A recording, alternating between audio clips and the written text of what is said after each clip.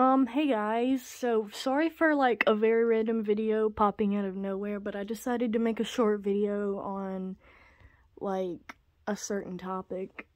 So basically this is a video dedicated to the people who are currently getting hate comments or, you know, just hate in general on their stuff.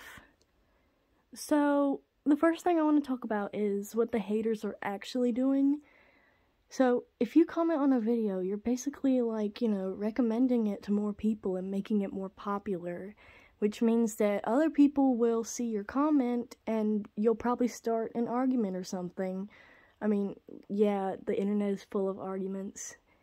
So, the thing is, like, you can't please everyone in this world. You can't, like, you can't like no matter what you do and no matter what you say and no matter what you put out there you're always going to get some hate. So like just let the haters think what they want because one it's just their opinion. Two they're boosting your video. Three like haters gonna hate. That's all i gotta say.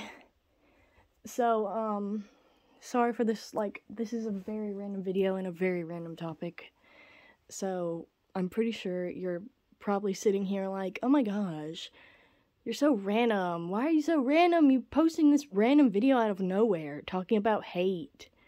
Well, the thing is, like, back in the days, I used to, you know, I used to make a whole rant video. Like, I think it was before 2021.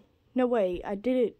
Oh, wait, I think it was like after 2022 or something. I don't know. Like, I'm confused.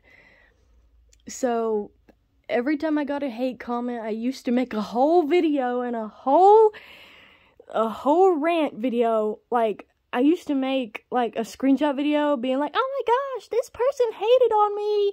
And now I just laugh it off because you know, like they're just going to say what they want to say. And um to the thing is like if you hate comment on my videos, then that's all right. That's your opinion and you are not affecting me because you're basically just boosting my video. Like, no offense to any, like, people who, like, have opinions, but, like, sometimes, like, you just gotta keep your bad thoughts to yourself. Like, the thing is, like, if you ever make someone feel bad about their work for no apparent reason, then you're not doing the right thing. So, um, I guess that's all I gotta say, and sorry for this random video popping out of nowhere.